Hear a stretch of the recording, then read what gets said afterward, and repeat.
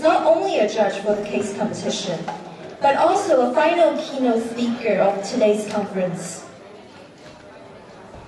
Geoff is an inventor of many technologies, an entrepreneur behind many startups, and a game changer for the Canadian healthcare and commercialization landscape. Combining a strong academic background and an in-depth understanding in technology transfer, he has been dedicating his career to transforming research ideas into real value and making life worth living. Let's welcome Geoff on stage to share his stories on Tackle Big Problems with Elegant and Affordable Solutions.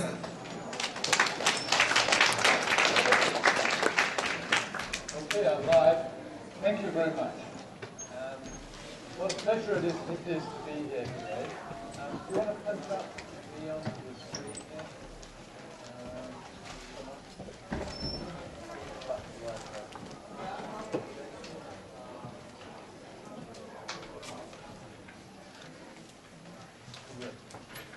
Thank you. So tackle big problems with elegant and affordable, affordable solutions was a topic that was given to me, so I'll try and aspire to it. There are going to be three parts to the presentation. What is IDAPT? Because we're all talking about IDAPT. What is the mission, which I think is important. And then I'm going to talk about the IDAPT way. The way we do things. The way we take things from inventions to commercial solutions. We're part of UHN. UHN, just to clarify for you, is, has four hospitals. It's a huge organization. It's a $2 billion operation. Um, there are three minor hospitals in it. Princess Margaret, Toronto General and Toronto Western, and then one very important hospital, Toronto Rehabilitation Institute. We, uh, we look after the others and we're guiding the general direction of the others. They haven't quite worked that out yet. So Toronto Rehab, which is the home of IDAPT, has um, 30 or so full-time scientists, lots of adjunct scientists, has about 240 students, graduate students, plus a lot of volunteers, and about 100 staff. And what I think is really important is its multidisciplinary nature. A third of those students are engineering and computer science, and a half are from clinical backgrounds, and the wedge are from business and management studies. And it's that, it's that combination that is going to make us really the leaders in the world. And when it comes to funding, Unlike other research groups, we don't just rely on grants and we don't just rely on donations. We're building the commercial arm. We're having a lot of success at the moment. It's early days, but we're enjoying considerable success. And I believe this is what people want. People want our research to actually be applied to help others. People also want our research to generate jobs and wealth in a country. We're, I mean, our mandate is to improve healthcare. Let me tell you, when I travel to poor economies in the world, I'm scared of getting sick. So wealth and health go very much together. So it's not at all contradictory that as a healthcare organization we'd be interested in creating wealth. Does those two things for us. If you want to live a long time, earn a lot of money. Because the correlation between wealth and health is very strong. But it also, through commercialization, allows us to get the results into the hands of people that can use it. So let's talk about the mission. The mission we have is to solve big problems, to solve them. We're not a research group that's very happy to describe. You know, I go to gerontological conferences where people tell me interesting things about growing old. Uh, elderly people find report that more of their friends die. Um, they report being lonelier. Um, they report that they can't run as fast. All sorts of ridiculous thoughts, right? Um, so we need to solve those problems, not describe them. We solve them in, in, by doing three things. We create evidence for policy change. That's a rather unpopular thing to do in Canada at the moment. But there was a time, and there is in some jurisdictions a time, where political decisions, policy decisions, are based on evidence. That's a very useful thing to do.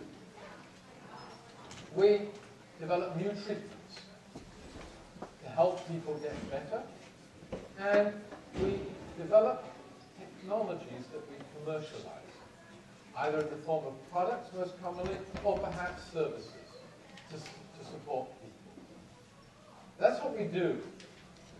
Our defined scope also includes three things. It includes prevention. You might say, well, you're a rehabilitation center. What are you doing in prevention? Well, I can tell you the topic today of infection, preventing infections. When I was asked about that, my response was a lot of our patients are at risk of catching infections, and if they die, rehabilitation is pretty good. So, so we try to keep people out of hospitals, stop them having road accidents, having falls, having back injuries, catching infections. That's a primary objective. And it ought to be of all healthcare research, if you think about it. A significant portion of the time should be in preventing, not in solving problems. The second part, the part that everyone recognizes as rehabilitation, is returning people. If you are unfortunate enough to end up in a hospital, one of our partner junior hospitals, Princess Margaret or Toronto General or Toronto Western or any other, with an illness or, a, or an injury of some sort, it's our job, after they've saved your life, to come up with a treatment that gets you back to home, to the work, social life, so that life is worth living. That's our job. And finally, all of us growing up in our homes, gathering around us our memorabilia, having the kids visit, having our toys around us, none of us really, when we get older, want to end up in 200 square feet of a nursing home room with a single cupboard. We all want to continue to live together at home, in our own communities. That's the third objective that we have. So, what stops professors commercializing their inventions? And by the way, I need to just say professors, I could say students as well, because a lot of them are led by students. What stops in academic life. Two equations. The first equation is that security and advancement equals number of papers plus number of grants. I can tell you that that's absolutely still true. And when you look at a CV and you're looking for an appointment in academia, the first thing you do is you go through and you count the number of papers and you see the number of years and you look at the number of grants, and that's the benchmark. You look beyond that, but that's the benchmark. Well, some people look beyond it, some don't. That's the benchmark. So that has nothing to do with commercialization. That's the antithesis of it. The second equation is that in the university setting, until such progressive places come across, are available as the hatchery, for example, which is beginning to disturb the process. Until then, you go through this process. You invent something, and you then sort of are hands-off. You disclose it. And that disclosure piece of paper goes off to some organization called the Technology Transfer Office. And there, it sort of dies. Um, you sort of are told you're a good person, you don't understand business, you just wait for them to find someone to license it. They're not really very interested in what you've invented. Um, in fact, in my case, one time we were presenting to a company in, in Sweden that something that they were, they were rather interested in, and the person from the technology transfer office was fast asleep um, throughout the process. Um, so it's not, generally they're not terribly interested. They're motivated to get licensing dollars. But you know what? Licensing sucks. It really does suck. I mean, we've got to move from licensing, as has been the theme today, we've got to move from licensing to startups because we've got to start generating wealth and jobs at home, not just licensing it off to a multinational that may or may not use it. So the IDAPT way is what I'm talking about. It's a rather grand name for something that we're still working on, I admit, but it's beginning to gain currency. It's beginning to work rather well. And the IDAPT way has to begin somewhere. And our last group of three presenters, and it's easy to imagine them sitting in these three chairs here, talked a lot about this. And what they said had a ring of truth. It really did. The IDAPT way, you've got to, the first thing you've got to do is you really want to create a startup with a disruptive technology. And you'll see one paper that uh, Tilak Dutta, who's the back, the back of the room, found for me, um, showed that at Stanford in 2009, 37% of disruptive innovations succeeded to be commercialized, only 6% of implemented. So we need something that's really going to make a difference, not something that improves things a bit. We've got the odds stacked against us anyway in doing startups, so let's do something wild. However, don't let the licensing people put you off. Don't let them say, oh, there, there, good boy, good girl, you just carry on, we'll license it for you. Point out to them that in fact, startups have generated six times more, and I don't know in the, in the last year what it is, more revenues for the university, let alone for the inventors, than licensing to established companies. Startups is the way to go for everyone. It's risky, but then so is licensing. If you get a license agreement, it doesn't necessarily mean you're going to get revenues to speak of, and you can ask me about that. So we have a process. We have a process that we follow as the IDAPT way, beginning with concept development, which is down that bottom corner there. And we, this is an iterative process. It's a process that I'm going to, I've taken a minute, let me just check. I'm going to talk about how you come up with the idea as they did. But once you've come up with the idea, ideas are worth almost nothing, by the way. But they were exactly right. I, I, I don't rate ideas at nothing. I rate them at 10 cents each. Um, really, 10 cents seems a very good value. If I put 10 of you around, for half an hour you'll come up, with 10 good ideas and you'll have earned a dollar. I'll hand you the dollar and you'll have to break it up into 10 cents each. Because the idea means nothing. It's only when it's turned into something tangible that people can swallow, sit on, ride on, throw at each other, hold, evaluate, that it has any value. That's a really important thing to understand, and students often don't grasp that. Ideas are worth nothing. You've got to put the work in to get them.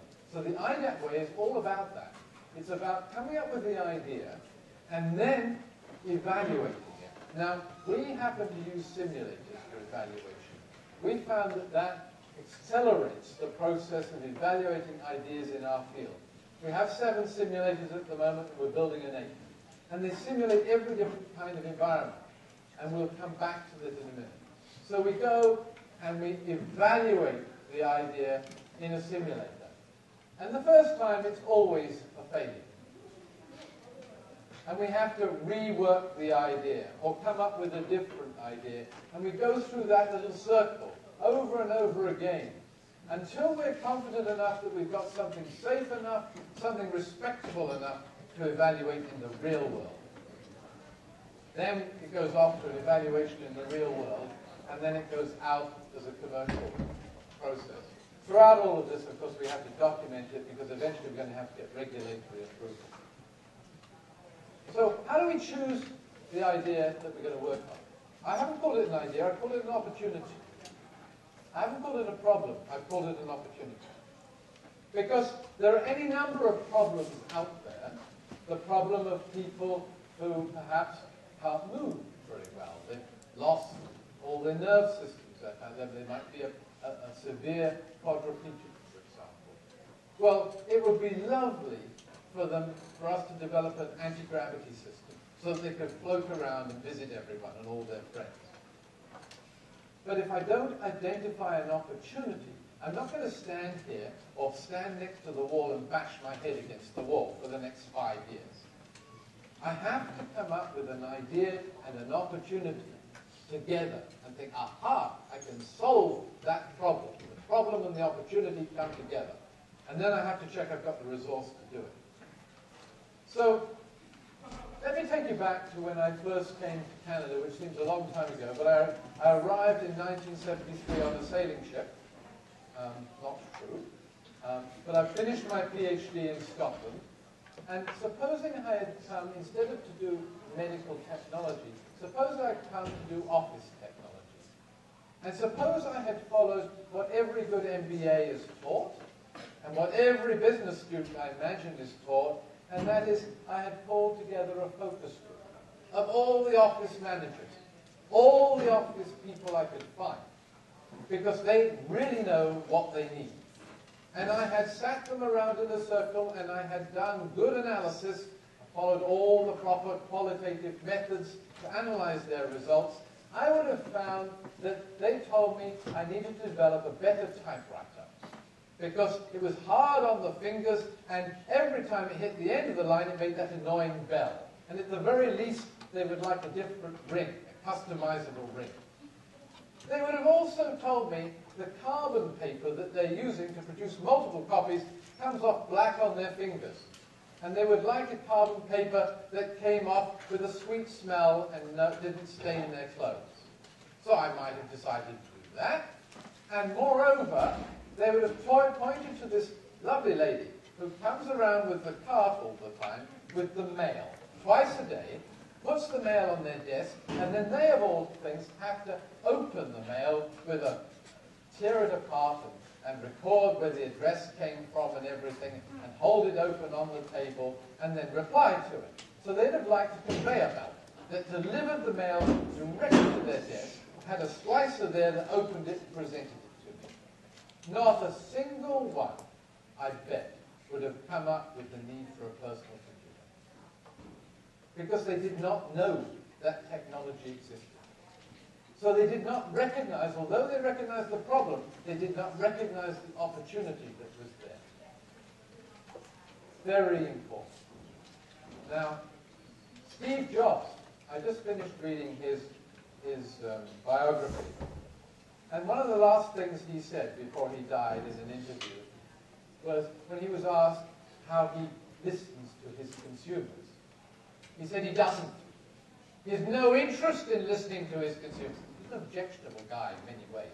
But he, had, he said, I'm not interested in listening to consumers because they'll tell me what they want. I have to tell, I have to determine what they will want in the future. It's like this puck thing. You, no, you don't skate to where the puck is now, you skate to where it's going. And in fact, he also paraphrased Henry Ford and Henry Ford, he said, once said that if he had listened to his consumers, he would have spent his life developing a faster horse. So the IDAPT way, the other key thing which we all agree on, is multidisciplinarity. And that's the beauty of today. The idea that this room has people from engineering, people from business, people from neuroscience, chemistry, several others that I've met. It's the coming together of those different disciplines that is galvanizing. Let me tell you also that whenever I've come up with something really innovative, it's usually been in the first month that I go into a new area. So I went into orthopedics, and six months later came up with an artificial spinal disc. People thought at that time that was a ridiculous idea. Couldn't be done. Went into urology, and we came up with a new approach to looking at urology in seniors. there's various other examples. One recently we went into sleep and we've come up with something which is going to revolutionize sleep, sleep testing for apnea. It's in those first days when, before you learn that your, your solution is impossible, that's when you succeed. And it's when you bring together people from different disciplines, that's how it works. We need, in our facility, we have extensive prototyping facilities, modern prototyping facilities, because remember the idea that's worth 10 cents? It's not worth it until we turn it into something. And the way we turn it into something is to use modern prototyping facilities. 3D printing, particularly, has been an enormous success with that. Industrial designers. I'm going to give industrial designers a plug. I'm an engineer. Industrial designers know how to design things. Engineers do not. Engineers know how to make them so they won't break. They know how to make them so they'll work. But industrial designers know how to put them together so people will want to use them and know how to use them. And industrial designers know how to come up with prototypes and illustrations of prototypes. Absolutely key. I believe simulators.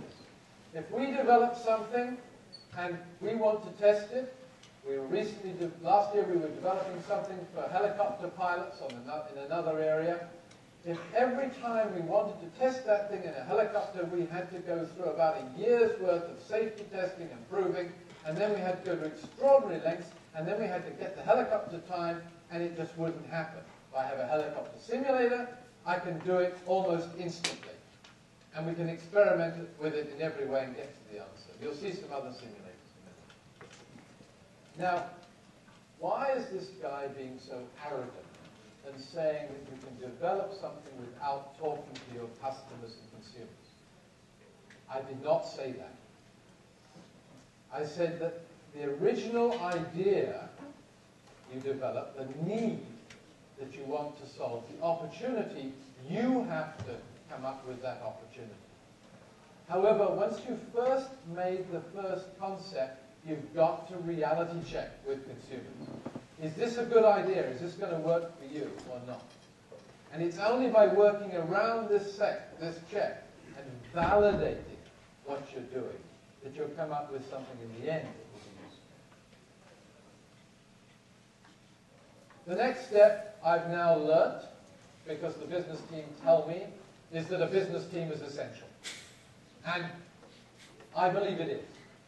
I think that there are other skills in assessing potential that's useful. Obviously, you must protect your intellectual property. You launch a startup, that's easier than done. The IDAPT way is to launch it and spend as little money as possible. We incubate it. You live with us. You don't pay a lot of rent to start with. You are charged the rent. We let you be a little bit delinquent. Eventually we collect it all, but we help you in every way to get started. We do the tooling in China. You've all got parents in China, thank God, who've got connections where we can make an injection molded tool for a couple of thousand bucks. Um, and, and so we can get the product out of the prototyping stage. These are some of the recent companies. I'll show you a little bit. I'm going to show, I'm going to cut this short, short because we're running a little late. But the simulators that we have range from a simulation of a house, a home on the 12th floor with the roof cut off. You can walk around the top and you can try things out in there. Um, this is a product that detects if you've fallen without you having to wear anything and calls.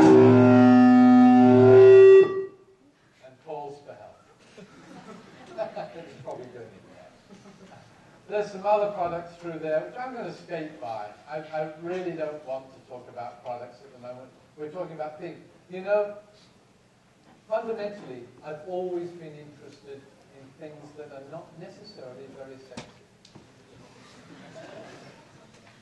You know, there was a time when you could respectively walk around the Institute of Biomedical, Biomaterials and Biomedical Engineering, and they won't mind me saying this when I first came here, unless you were continually publishing paper, papers that were a mathematical analysis of three-dimensional ultrasound fields.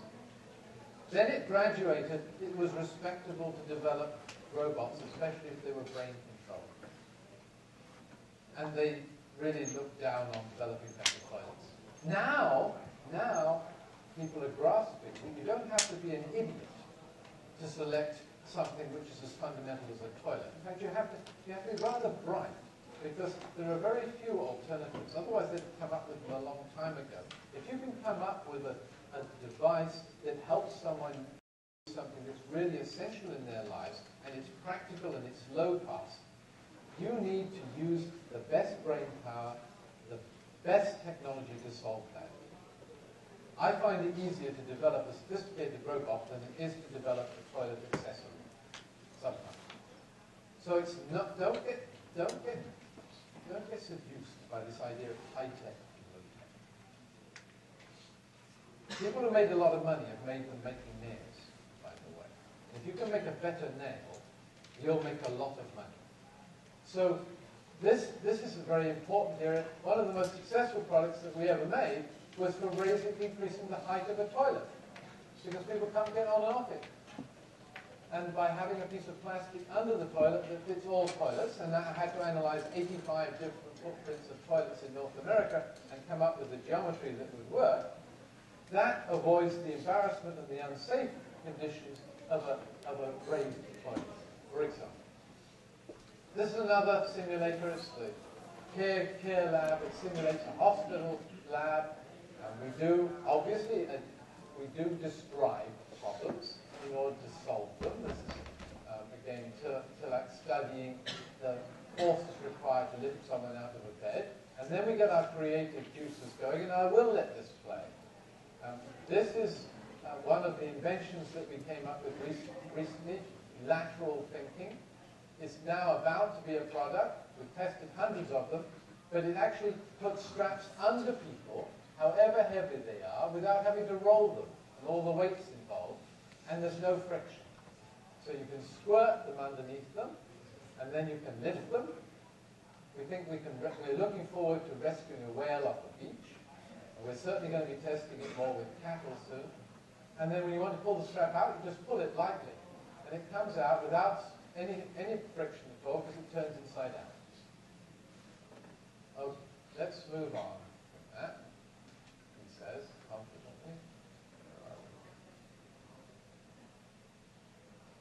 It lists lots of people. This is Winter Lab. This is simulator number six. We simulate winter. It's been on the news a lot lately. Um, this is another actual lab that we have, but it's proof of point. When you go out, this winter, a lot of people have had injured hips, broken hips, broken wrists, head injuries. Huge. At the rate of three an hour in Greater Toronto area with serious injuries because, because of these wet and icy conditions that we have, just people falling over. This is the most expensive boot you can buy from this particular manufacturer. It is a boot that will take you to the North Pole, according to them. and it looks very aggressive and it looks perfect and you'll spend a lot of money on it. But when you go and buy your footwear for next winter, you will be disappointed, Because footwear does not behave according to its look and its name and its marketing. So we've actually developed methods of, um, of testing. Here's a, here's a, a winter environment which Susan is just pausing to go into a, to create a particular hill so inside this environment, we've got ice. We can adjust the temperature. We can add snow. We can make it a windy, snowy hill if we want. And we can take, we can see whether you can walk up and down the hill, which turns out to be a very valid way of measuring the performance of footwear. So we're now persuading the footwear industry to bring their products to us before next year so we can give them a score, an angle of a hill, people will be able to go up under different conditions, and then they can choose whether they market using that information or not. And that will be a business for us. And it'll also be a lead-in to us developing new footwear that we're working on with the materials. So uh, the sort of thing, hang on, here's, here's me um, walking up and down different a hill, testing out particular. There's a robot that protects me and a mattress. They think I'm worth protecting. Now look, here I am at seven degrees with this boot. I'm having some trouble. and it doesn't matter who's wearing the boot. The result comes out at seven degrees pretty much every time, except for Dan in our group who can't walk up anything. But, it may cause a real false statistical problem. But the rest of us can walk the same angle in whatever boot. Okay, let's. Oh, I'm going to wet eyes. We'll go past that. We don't.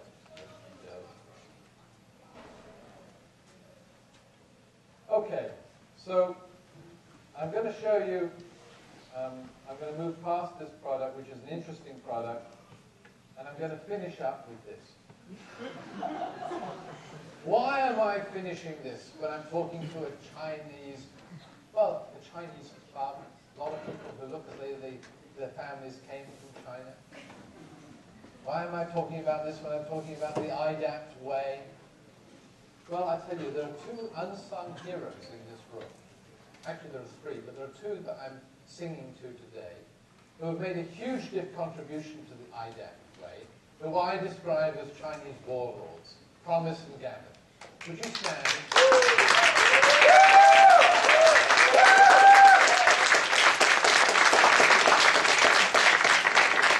They are the key to the success of the Chinese, of the, of the, of the way.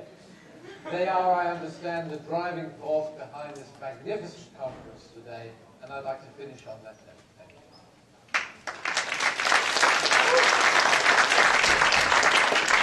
Thank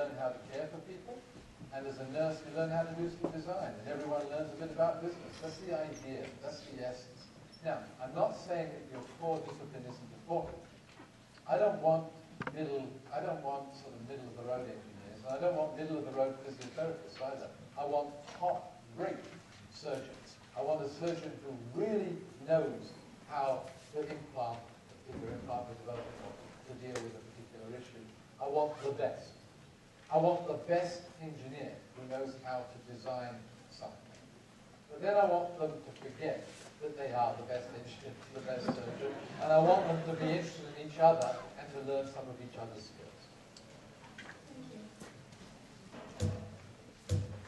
Professor, uh, I'm more interested in the research in my dad. Uh, actually, I studied chemistry in Europe, and my supervisor's name is also Jeff. Uh, well, I only, want to ask uh, if there are any uh, projects related to uh, nanochemistry or nanomaterials, and by the way, do you hire uh, chemistry people for R&D? We're just starting out in that area. We're working with Tanid Nek, Nek, also but anyway, material scientists uh, at U of T, developing a, a, relationship to work with nanomaterials, for example, developing footwear that in winter will adapt. One of the things we've learned is that footwear behaves very differently on wet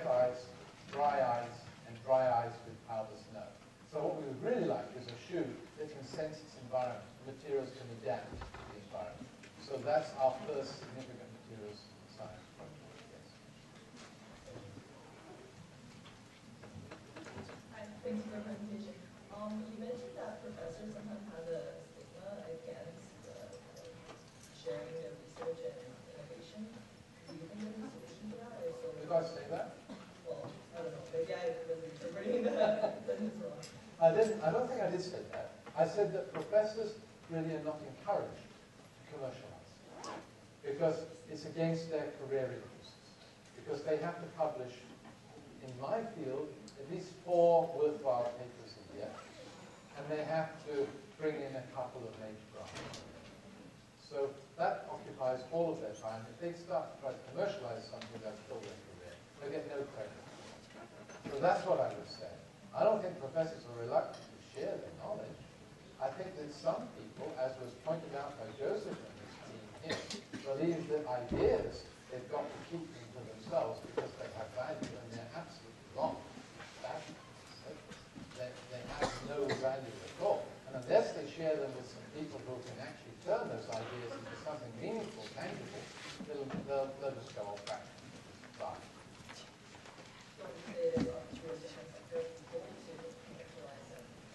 Oh, of course, there's di- different personalities. You, you, I this of people who are eager to commercialize stuff. You can see it their faces, you can see that they're animated, they're interested in doing this. If we took a cross-section of everyone from the university, quite appropriately, we would have a lot of people who would be very bored. Um, we don't all have to be the same. We don't all have to want to commercialize. We don't all have to want to create. Um, in, in fact, if we did, we wouldn't have any people to hire as employees, would we? So my sister used to start lots of companies. My sister was an engineer, and my, I remember her talking to my dad one Christmas when we went back home. And, uh, and she was an engineer as well. And I was sort of hanging around in the next room and I could overhear them. And, and uh, so Dad said, well, do you do any engineering any longer? And she said, oh yes, she said, I hire lots of engineers. They're very useful people to have around.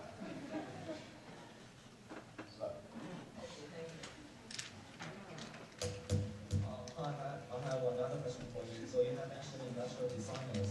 Uh, in some cases, people do not see the value of industrial designers. They, they just think they, uh, they are helping others build models, they are helping others to improve their existing products. Uh, but, but actually, you include uh, industrial designers in your team, and now there's 3D printing and embedded data to help industrial designers improve their, um, their work. So how do you see the future career of industrial designers in the coming decades? Well, you know something? Um, our, one of our best and most senior industrial designers is now a PhD student here. He's now doing a PhD while he's an industrial designer with us.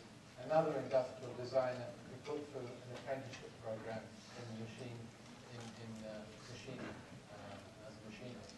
So that he could not only indu- do industrial design, but he'd be better at the industrial design and being able to translate into a manufactured product. Who's an industrial designer, is getting his PhD so he can understand the process of moving from research to policy. I don't see any limitation at all. If, people have business skills and they're prepared to learn some engineering and some clinical skills with us, it's great.